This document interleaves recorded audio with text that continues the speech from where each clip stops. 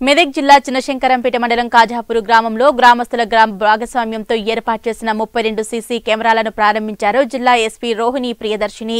ఈ సందర్భంగా ఎస్పీ రోహిణి ప్రియదర్శిని మాట్లాడుతూ కాజాపూర్ గ్రామంలో గ్రామస్తుల భాగస్వామ్యంతో సుమారు ఇరవై నాలుగు సీసీ కెమెరాలు ఏర్పాటు చేసుకున్నారని మొత్తం ముప్పై రెండు సీసీ కెమెరాలు ఏర్పాటు చేశారని గ్రామస్తులకు అభినందనలు తెలియజేశారు అనంతరం మెదక్ జిల్లా SP Rohini Priyadarshini DSP Yadagiri Reddy CI Chandrashekar రెడ్డిలను స్థానిక సర్పంచ్ నాగలక్ష్మి శిఖరం శాలువాతో ఘనంగా సన్మానించారు.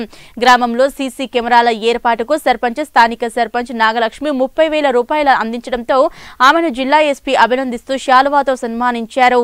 ఈ కార్యక్రమంలో మెదక్ జిల్లా SP Rohini Priyadarshini Toopran DSP Yadagiri Reddy Ramayampet CA Chandrashekar Reddy SS Subhash Goud స్థానిక సర్పంచ్ కుంటా నాగలక్ష్మి సిద్దిరాములు ఉప సర్పంచ్ ఉపేందర్ రెడ్డి పీఎస్సీఎస్ చైర్మన్ శ్రీనివాస్ రెడ్డి కుంటా నరేష్ స్వామి పంచాయతీ పాలకవర్గ సభ్యులతో పాటు కాజాపూర్ ప్రజాప్రతినిధులు గ్రామస్తులు పాల్గొన్నారు. లైవ్ ప్రోగ్రామ్ చేస్తానని చెప్పి ఒక ఫిఫ్టీన్ డేస్ బ్యాక్ మన సిఐ చెప్పడం జరిగింది. అండ్ సరే నేను ఎస్ప్రోమో మాట్లాడుతున్నారు. అని ఇంత ఇంట్రెస్ట్ చూపిస్తున్నారంటే నేను ఇది అప్పుడు చెప్పలేదు మనకు. ఇంత డొనేట్ చేస్తున్నారని.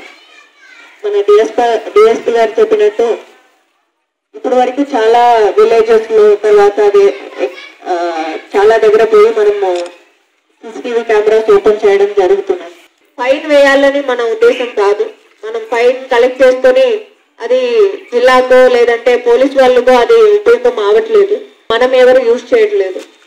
ఆ ఫైన్ ఎందుకు వేస్తున్నామంటే ఒక పదిసారి ఫైన్ వేస్తే ఓకే అట్లీస్ట్ అది పదిసారి ఫైన్ పడుతుంది ఎందుకు అది కట్టాలి అని చెప్పి మళ్ళీ హెల్మెట్ ఫోన్ మాట్లాడుకొని వెళ్ళడమో మందు తాగి నడపడము చేయరని చెప్పి మనము ఈ ఎన్ఫోర్స్మెంట్ అనేది చేస్తున్నాము.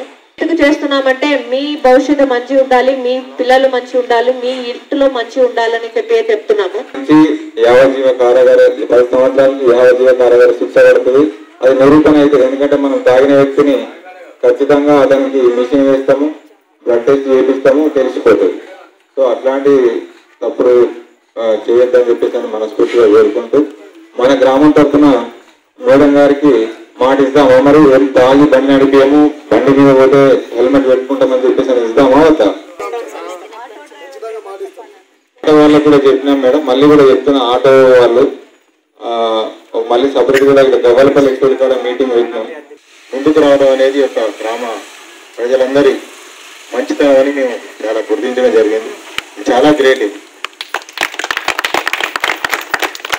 చేస్తారు, ఏదో చేస్తారని ఒక సినిమా పాట ఉంది అలా రాకుండా మీరందరూ ఒక మోటివేషన్ వచ్చేసి మా విలేజ్లో ఎటువంటి నేరాలు జరగద్దు.